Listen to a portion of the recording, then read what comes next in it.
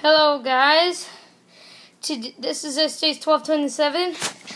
Today I'm gonna, I'm wondering, which one do you guys think is more rare?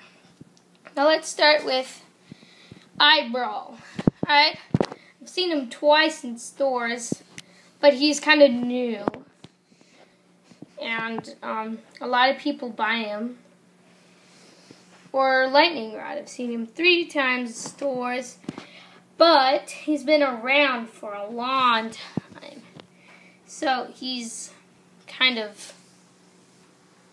You know what I mean? This is like. I've seen two of his giant form and. No, one, two, one of his giant form and two of his regular form. So who is it? Eye-Brawl?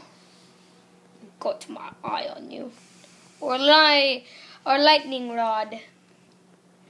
Well, check out SJTV 2013, um, White Ghost Gamer, and Pixel Shy Guys videos. Please uh, like, subscribe, or comment.